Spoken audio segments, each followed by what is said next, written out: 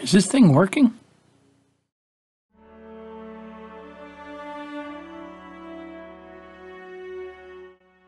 To all of our students, and especially our class of 2020, the science teachers at Norwin wish we could finish the school year with you the way we started, together. We have enjoyed sharing our passion of science with you and seeing you in person improve as thinkers and learners.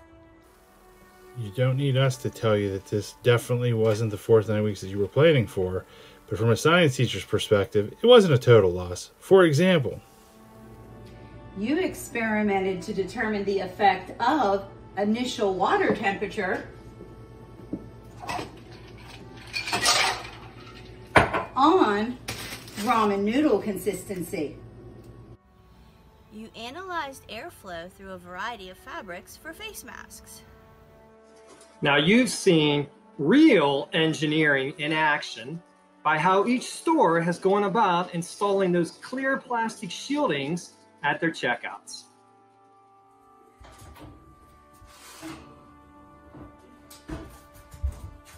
You learned about chemical reactions when I asked you to bake cookies.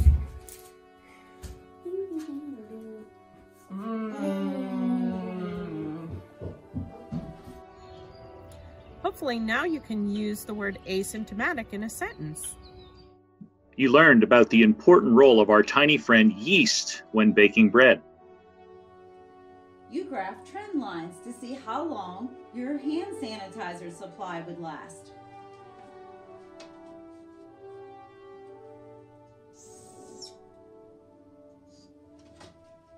Getting close. You have a much better sense of what 1.82 meters is. Relax. Six feet apart, by the way. But more importantly, you can see the value of all the years that our medical professionals put in to be ready for just this moment.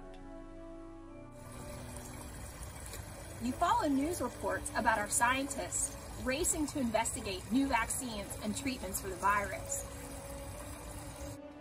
You know how interconnected people are across the county, the country, and the world. You recognize that in situations, while there might not be any easy choices, science can help us try to make better choices. Vivi Ted! Would you please stop saying that? Sway away! We continue to learn more about the virus every day, but one thing is for certain. It's up to all of us to help stop the spread of COVID-19. As the weather gets nicer, it's not going to be easy to follow guidelines as you want to just go out and have fun with your friends. Just remember, no matter how old you are, everyone's smart choices can help keep the curve flat. To all our students, but especially to our seniors, we know that your plans that were clear a few months ago might seem out of reach. But as the great inventor Alexander Graham Bell said, Sometimes we stare so long at a door that is closing that we see too late the one that is already opened. A couple centuries ago, in 1665, when the bubonic plague raged across England, a young Isaac Newton was forced to leave college and return to his farmhouse to self isolate. So, instead of moping around barns and playing Call of Duty until 3 a.m., ah, he redoubled his efforts in his studies. Drops.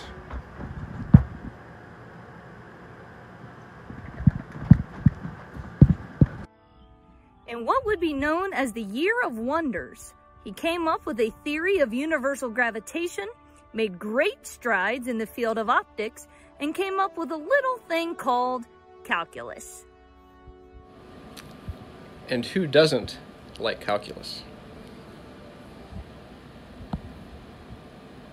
Hey, What? how you doing? I'm working. Hey, I'll give you ten dollars to raise your hand.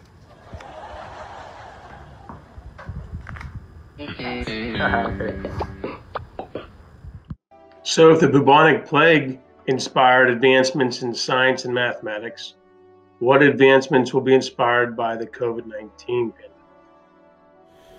You'll only be part of the next generation of thinkers and doers if you keep up with your studies, even when it seems easier not to.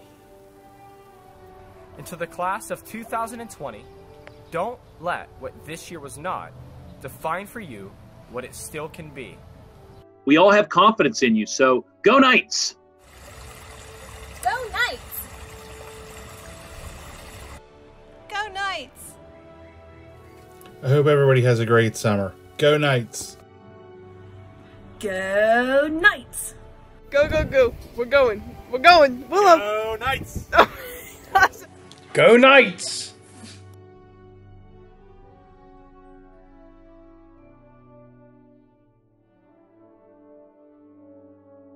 Done for the day. Amazon.com. That's the easiest $10 I ever made.